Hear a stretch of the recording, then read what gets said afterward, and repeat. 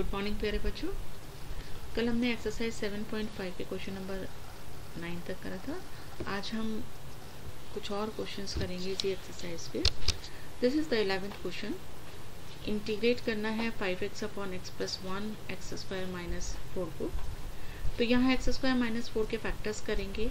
x minus two x plus two तो तीन linear factors आ गए हमारे पास डिनोमिनेटर में। इसलिए इसका पार्शल फ्रैक्शंस हम लेंगे a upon x plus one plus b upon x plus two plus c upon x minus two की फॉर्म में। एल्सियम हमारे पास आ जाएगा x plus one x plus two into x minus two so numerator होगा हमारे पास a into x plus two into x minus two plus b x plus one into x minus two plus c x plus one into x plus two अब हम एक एक linear factor को equal to zero रखेंगे तो x plus one equal to zero से x minus one आया।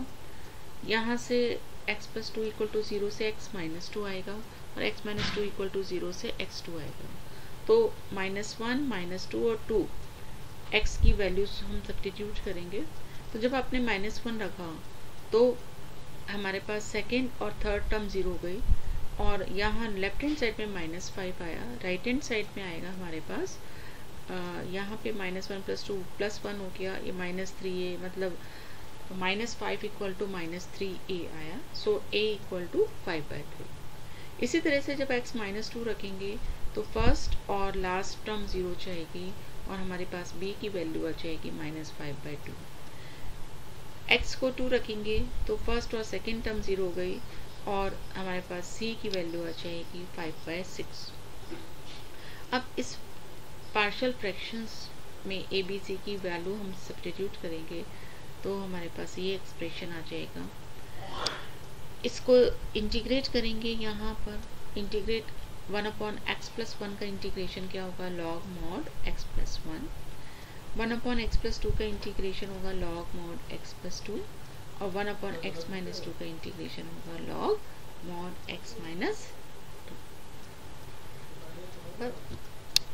next question x cube plus x plus one upon x square minus one यहाँ पर ये पार्शियल फ्रैक्शन नहीं है अभी हमारा। तो इसे पहले हमें सॉरी ये प्रॉपर रेशनल फ़ंक्शन नहीं है हमारा। तो इसे हम प्रॉपर रेशनल फ़ंक्शन में कन्वर्ट करेंगे। तो डिवाइड करेंगे न्यूमरेटर को डिनोमिनेटर से। तो जब डिवाइड करेंगे तो क्वेश्चन हमारे को मिलेगा एक्स सो so, और रिमाइंडर हमें बच जाएगा टू एक्स प्लस वन। आप डिवाइड करके साइड में दिखाएँगे। तो इस गिवन फ़ंक्शन को हम लिख सकते हैं x plus two x plus one that is remainder divided by x square minus one इसका तो डायरेक्ट इंटीग्रेशन हो जाएगा। तो ये जो हमारा प्रॉपर रेशनल फ़ंक्शन बना है इसको हम पार्शियल फ्रैक्शन से करेंगे। लेकिन उससे पहले हम डिनोमिनेटर के फैक्टर्स करेंगे। डिनोमिनेटर के फैक्टर आएगा x minus one x plus one इसलिए इस सेकेंड टर्म का पार्शियल फ्रैक्शंस लेंगे हम, a upon x plus one plus b upon x minus one LCM लेंगे x plus one x minus one numerator हो जाएगा a into x minus one plus b into x plus one so numerators को equate करके हमारे पास ये equation बन जाएगी। अब इस इक्वेशन में एक बार x को माइनस वन रखेंगे, क्योंकि x प्लस वन को ज़ीरो रखने से x माइनस वन आएगा, और x माइनस वन को ज़ीरो रखने से x इक्वल टू वन आएगा। तो एक बार वन रखा तो फ़र्स्ट टर्म ज़ीरो हो जाएगी, और two b equal to three आ जाएगा so b equal to three by two जब x माइनस वन रखोगे तो सेकेंड टर्म ज़ीरो हो गई तो यहाँ पे आएगा minus one equal to minus two a so a equal to one by two अब ए और बी की वैल्यू इस एक्सप्रेशन में रख देंगे हम पार्शियल फ्रैक्शंस में। और हमारे पास ये, ये पूरा अब जो रेशनल फ़ंक्शन था ये किसमें रिड्यूस हो गया? X plus one by two into x plus one plus three by two into x minus one integrate करेंगे सेपरेटली तो x का integration x square by two और one upon x plus one का integration हो जाएगा log mod x plus one और one upon x minus one का integration log mod x minus one and plus constant of integration next is one upon x to the power four minus one तो x to the power four minus one को पहले factorise करेंगे x square minus one x square plus one में।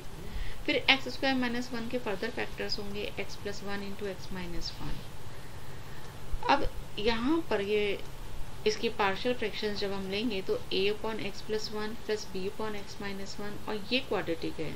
इसलिए इसका numerator क्या लेंगे हम? Linear that is c x plus d LCM होगा हमारे पास x plus one x minus one and x square plus one so the numerator will be a into x minus one x plus x square plus one plus b into x plus one into x square plus one plus c x plus d into x plus one x minus one जिसे हम x square minus one लिख सकते हैं।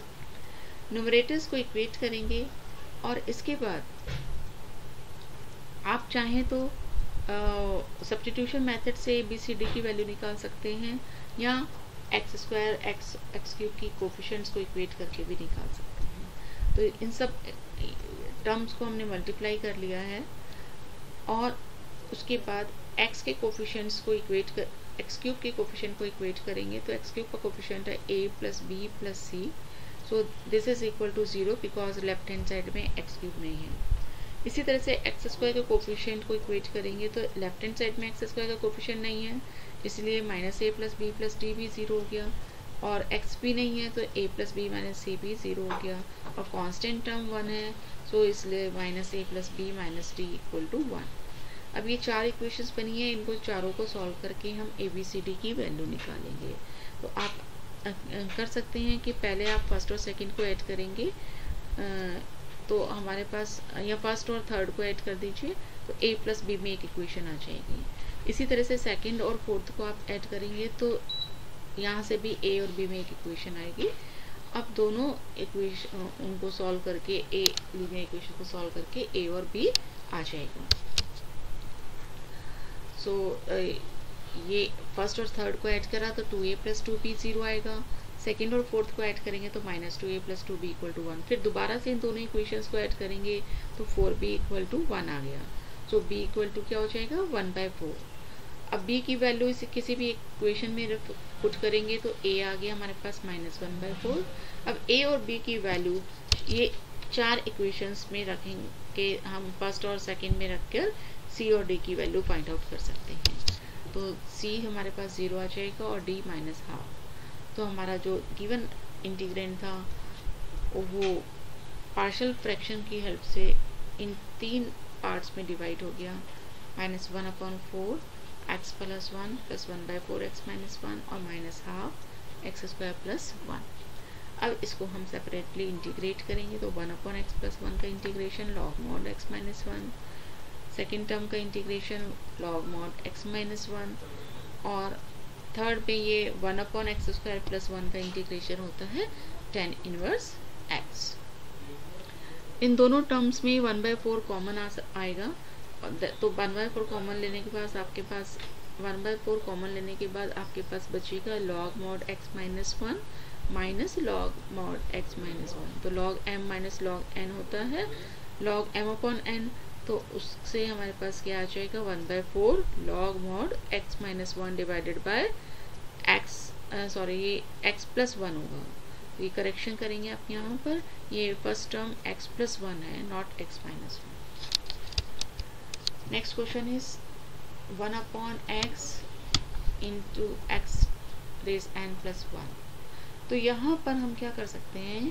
क्योंकि x to the power n plus one को अगर हम कुछ एज्यूम करेंगे तो इसका डिफ्रेंशिएशन होगा n x to power n minus one तो हम x to the power n minus one लाने के लिए हमने न्यूमरेटर डिनोमिनेटर को x to the power n minus one से मल्टीप्लाई किया।